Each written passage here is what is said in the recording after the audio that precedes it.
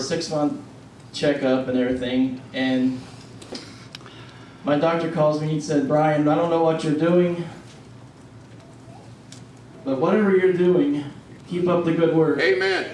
And um, I'm sitting at my desk and I start crying because I think back in February or March, whenever it was, the same doctor says, Brian, you're dying.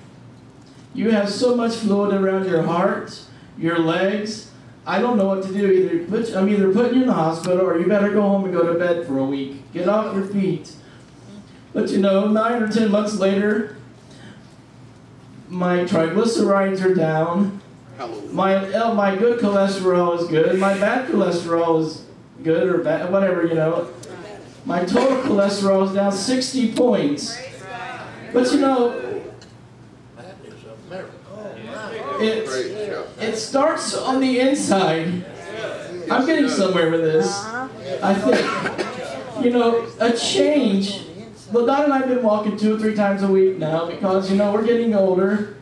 Well, I'm getting older. And, you know, there's a history in my family of heart disease and all that stuff. But, you know, the older I get, I keep that in my mind Yes. because I want to be around for a long time. Yes, sir. Yes. Uh-huh. And but you know, you you do what the doctor says. You know, there's a work going on inside that you can't see. And I can't see, but you know, the blood can tell everything. Anything wrong with you, oh, blood work can tell anything what's wrong with you. It can tell you how, how what you've been eating, what you've been drinking. Right, Sister Judy? It can tell you your sugar levels for the last three months. But you know, it's all in the blood. It's all covered by the blood. Amen. And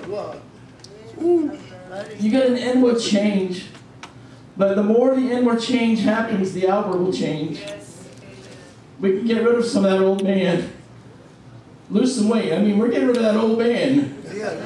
And when we get that, that blood working inside of us like it's supposed to, we can get rid of some of that old man. And that's what we're here tonight for. And whenever that white penny hits the earth, I want to be ready. Glory, And when- I want to be on one of those white horses that's behind that oh. rider of the white horse. I got it. And You got it. I'm just so thankful tonight.